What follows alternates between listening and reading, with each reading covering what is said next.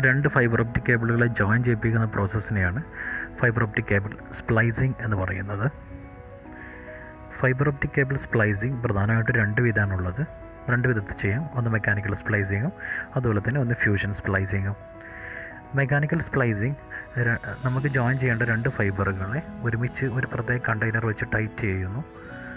ഈ ഒരു പ്രോസസ്സിൽ രണ്ട് ഫൈബറും സെപ്പറേറ്റ് ആയിട്ട് തന്നെ നിൽക്കുന്നു. ഒരിക്കലും ജോയിന്റ് ആവുന്നില്ല പക്ഷേ ലൈറ്റ് പാസ് ചെയ്യുന്നു. ഫ്യൂഷൻ സ്പ്ലൈസിങ് ഫ്യൂഷൻ സ്പ്ലൈസിങ് രണ്ട് ഫൈബറിനെ നമ്മൾ ഇലക്ട്രിക്കൽ ആർക്ക് ഉപയോഗിച്ച് ഫ്യൂസ് ചെയ്തിട്ട് ഒരു സിംഗിൾ ഫൈബറായി ലൈറ്റ് പാസ് ചെയ്യാൻ ഉപയോഗിക്കുന്നു. ആദ്യത്തെ സ്റ്റെപ്പ് നമ്മൾ ആവശ്യമുള്ള പ്രൊട്ടക്റ്റ് ചെയ്യാൻ വേണ്ടിയിട്ട് ഒരു സ്ലീവ് ഉപയോഗിക്കുന്നുണ്ട്. അപ്പോൾ സ്ലീവിന് ആദ്യം തന്നെ നമ്മളൊരു ഏതെങ്കിലും ഒരു ഫൈബറിന്റെ എൻഡിൽ കയറ്റി വെക്കണം. ഇതൊരു സ്റ്റീൽ റോഡ് കൂടെ ഉള്ള ഒരു സ്ലീവാണ് അതുകൊണ്ട് തന്നെ നമ്മൾ ആ ജോയിൻ ചെയ്ത ഭാഗം എപ്പോഴും പ്രൊട്ടക്റ്റായിട്ട് നിൽക്കാൻ ഇത് സഹായിക്കും.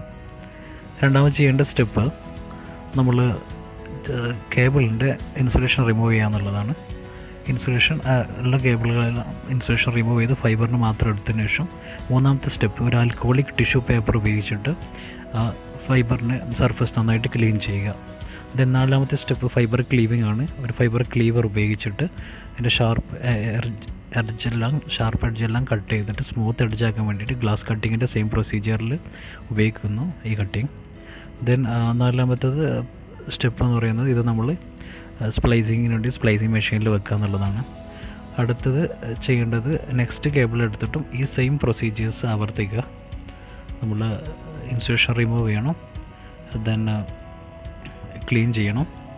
ക്ലീൻ ചെയ്തതിന് ശേഷം ക്ലീവ് ചെയ്യണം.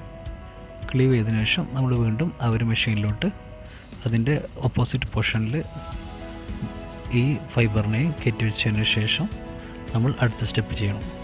അടുത്ത സ്റ്റെപ്പ് നമ്മൾ അതിനകത്ത് സെറ്റ് എന്നൊരു ബട്ടൺ ഉണ്ട് അത് പ്രസ് ചെയ്ത് കഴിഞ്ഞാൽ ഇത് ഫ്യൂസ് ആവും. നിങ്ങൾക്ക് കാണാൻ പറ്റും അതിനകത്ത് ആർക്ക് വന്നിട്ട് ഫ്യൂസ് ആവുന്നതിന്റെ പിക്ചറൈസേഷൻ ഈ സ്ക്രീനിൽ കാണാം.